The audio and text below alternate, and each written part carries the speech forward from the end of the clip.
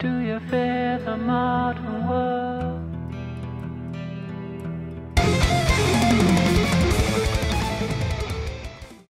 There is nothing wrong with your television set.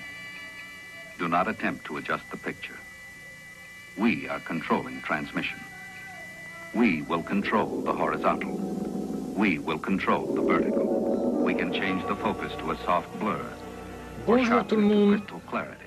Lorsque j'étais en Italie, occupé à visiter Pompéi, j'ai reçu un commentaire de Gérard Blasco sur le blog au sujet de l'album Floor Jensen. C'est assez rare pour que je le mentionne ici.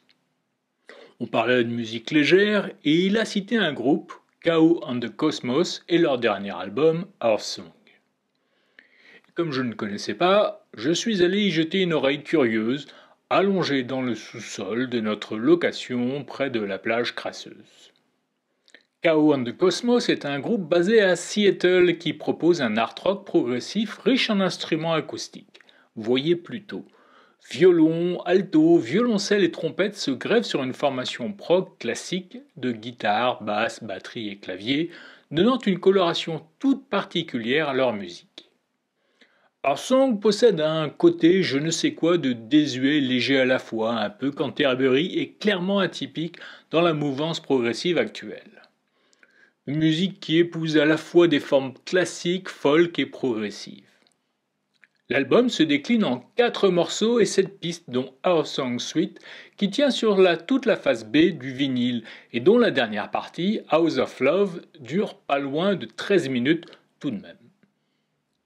La pochette où la Terre semble aspirée par une singularité, la photo du groupe où les musiciens sont déguisés, pardon, mais je ne vois pas d'autre terme approprié, comme le jingle de la série des Outer Limits utilisé au début du premier morceau de Singularity, donne le ton de cet album conçu pour faire plaisir aux geeks.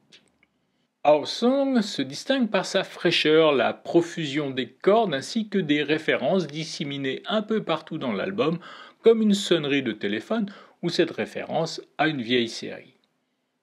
You Go Go est sautillant comme un titre de Big Big Train.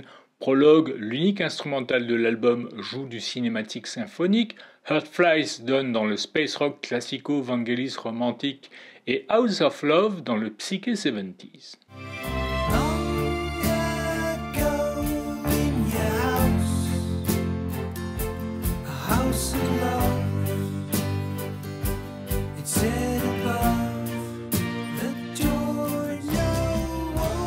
Groupe ne vivrait pas aux USA, je me serais certainement offert l'édition vinyle.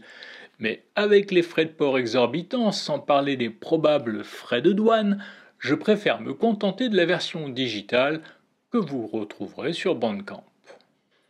A Song n'est sans doute pas un de ces grands albums qui figureront sur le podium 2023, mais c'est un disque fort sympathique qui repose les oreilles et apporte un peu de fraîcheur et de fantaisie dans ce monde de brut. C'est tout pour aujourd'hui. N'hésitez pas à écouter l'album sur Bandcamp et à poster des commentaires sur euh, YouTube si vous avez aimé ou pas d'ailleurs. On se retrouve la semaine prochaine pour une nouvelle découverte. Bisous